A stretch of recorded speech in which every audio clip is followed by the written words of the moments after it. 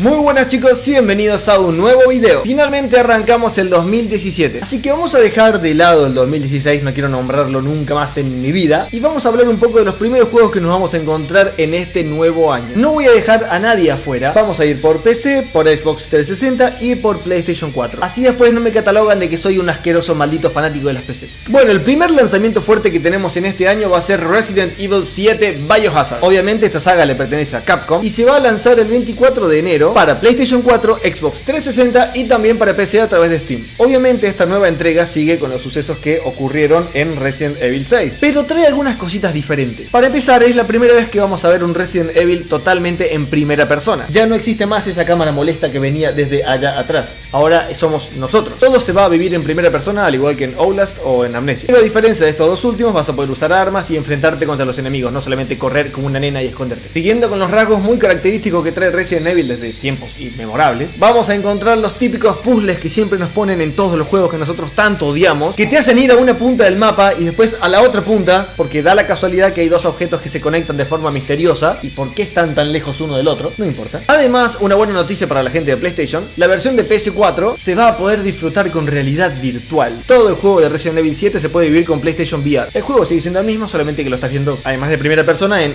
ultra primera persona. No sé si me expliqué bien. El protagonista de esta nueva entrega es Ethan, quien se enfrenta a la familia Baker en busca de su esposa. Al parecer todo el juego transcurre en un tipo de cabaña donde pasan cosas monstruosas y terroríficas. Este definitivamente es un juego que me tengo que comprar. Tenemos más noticias para la gente de PlayStation 4. Se viene de la mano de Guerrilla Games Horizon Zero Dawn. Van a tener que esperar un poquito más hasta marzo, pero es un juego que va a valer cada maldito centavo. Es un juego de acción y aventura que va a transcurrir en un mundo abierto, donde el dato que me llama la atención es que solamente va a poseer campaña individual, no tiene modo online. Hasta lo que yo sé, hasta acá, el juego no ha salido.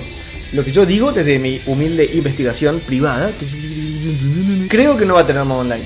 Pero, pero, pero, sigue siendo un juego increíble. La historia gira en torno a Aloy, que es una chica que se va a tener que enfrentar a máquinas monstruosas y muy misteriosas que plagan la Tierra, aunque no se sabe mucho sobre ellas. Algo curioso que tiene este juego, además de los gráficos increíbles que se van a las mierdas, están, está terrible, yo no sé, no sé cómo hacen para darle tanta realidad a las cosas es la increíble combinación del estilo futurista con las máquinas y de la antigüedad con las tribus. O sea, la gente vive en tribus pero se enfrenta a máquinas y eso es como ¡Ah! Un buen motivo para comprarte una PlayStation 4 si todavía no lo hiciste. Tranquila, gente de Xbox, tranquila, también tengo noticias para ustedes. No me maten. De la mano de Creative Assembly se viene Halo Wars 2. ¿Qué costumbre tengo de hacer esto? Es Halo Wars 2. Este juego se va a lanzar el 21 de febrero para Xbox One y atención, que parece que también se lanza para Windows 10. Ojo, esto no es para Windows 7 o Windows 8 o XP o lo que sea que tengas. Es para Windows 10, es para Windows 10 y solo para Windows 10. Solo 10. La historia va a girar en torno al coronel Jane Gregory Cooter y la tripulación del Espíritu de Fuego, que despiertan misteriosamente de su sueño criogénico sobre las instalaciones de El Arca.